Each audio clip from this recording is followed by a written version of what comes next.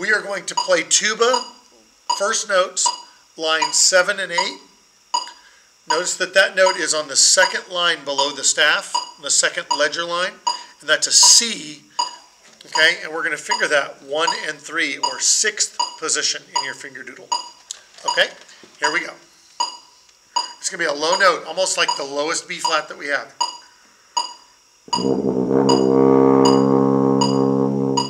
It's easy to make that note squirrely, so try, did you hear mine kind of rumbled a little bit? All right, here we go, ready? And one, line seven, and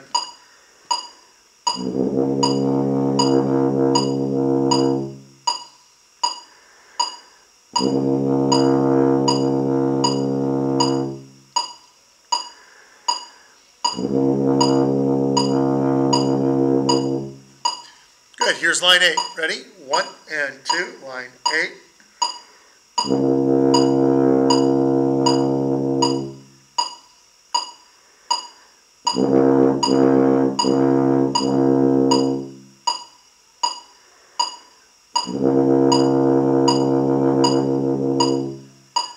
Sorry about the wobbliness on the end, that last note, okay?